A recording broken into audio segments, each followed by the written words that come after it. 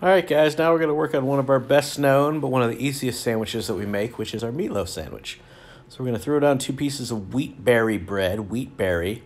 Once again, going a cross pattern as light as we can with the butter. Now, this wheat berry bread cooks pretty quickly, so we don't have a ton of time for this sandwich. In comparison, like a grilled cheese takes about five minutes. This sandwich will really take only about three minutes or so. So next to the wheat berry bread, we're going to throw down two pieces of our sliced meatloaf from the pan. We make this meatloaf in-house. We'll teach you how to do that, but then we put a press on the meatloaf so we get some nice grill, nice sear on that. Um, while we're cooking, we're going to cook one side of it, then we're going to flip it. So what we're going to do is just kind of build the meatloaf sandwich on the grill. There's nothing from the cold pan that goes on the meatloaf sandwich. So we're just waiting for the bread to cook, waiting for a little cheese to melt, and the cheese is going to melt both on the bread and by putting the hot meatloaf on it. Then the other thing that's going to go on here is the... Um, the spicy ketchup on both sides of the bread. Meatloaf is a little drier than a lot of the other meats, so we go ahead and put ketchup on both sides of the bread, which we don't always do any aioli on both sides of the bread, but this one we do. Um, and then um, then we're going to do cheese and onion strings. So French onion strings, kind of like the kind you get on green bean casserole at Thanksgiving, if you will. So we're just waiting for the underside of that bread to toast. Once again, there's no butter on it. We're just waiting for it to crisp up a little bit. So I'm to move that meatloaf over so I just have time to turn that bread over and swirl it around a little bit to make sure we get the liquid margarine all the way to the edge.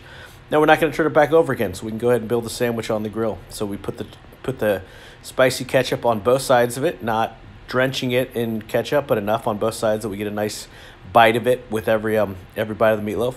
Put about two and a half, three ounces of shredded sharp cheddar cheese on there. Once again, this is a sandwich. It's not like a grilled cheese where we want the meatloaf to, we want the cheese to melt, but we don't want it to melt all the way like a grilled cheese. And then I just put two ounces of onion strings on the top there. So we're just really building the whole sandwich on the grill. To flip over, you can see there's some color. Um, some searing going on in the meatloaf, so the meatloaf's nice and warm. It's a decent size cut, but it's not super, super thick. You know, we don't have burgers and fries at our restaurant, so this is kind of what we consider our hamburger, our ground beef, um, you know, on a bun with ketchup kind of sandwich. There's other ways that people eat it. They eat it with um, pickles sometimes, they eat it with mayo sometimes, but this is our most traditional serving of what it looks like. I think I said this before, but that wheat berry bread does cook pretty quickly. So there's not a not gonna be sudden. You can already see you're already getting that yellow color, that brown color on it. So there's not a not a lot of time to walk away, do a lot of other things while you're doing this. You want to get that meatloaf heated up as quickly as possible because this bread can turn um, faster than a lot of the other breads.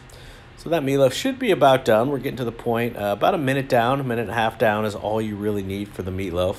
Sitting there, especially when it's got that press on it. It's going to be a nice, um, nice color, nice uh, crisp on the outside of it.